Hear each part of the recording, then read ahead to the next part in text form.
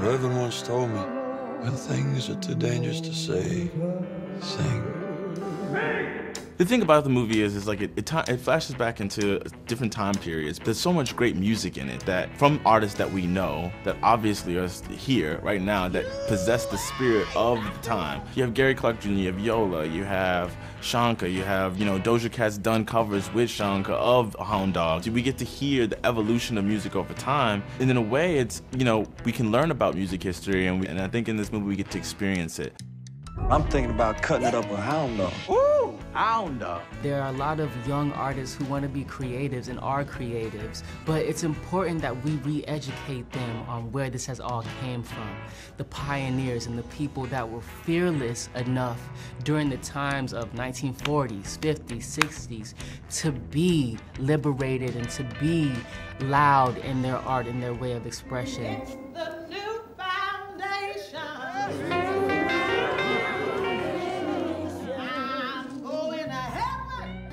Important that people see that that's what it was, but more importantly, that we get to talk about it now.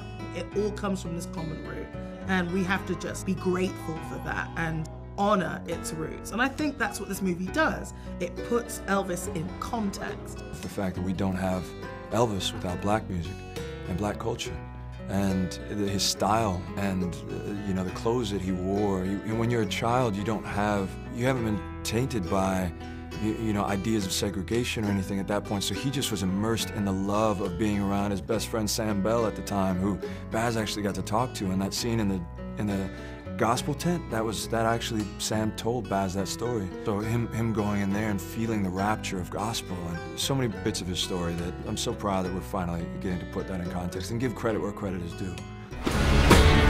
I wish to promote you, Mr. Presley. Are you ready to fly? I'm ready. Ready to fly. This is a film made for the theater. This is a film made to be seen on the big screen. The way that he shot it, the way the music is mixed, it, it is really such an immersive experience. I felt like I was strapping on a seatbelt and going on a roller coaster, and it just takes you on this ride. And this film is such an immersion of all of the senses. It's entree, main, and dessert. Baz's films are a feast for the eyes. You're meant to laugh and cry and clap and applaud and really, you know, feel Elvis again. Ladies and gentlemen, here's Elvis Presley.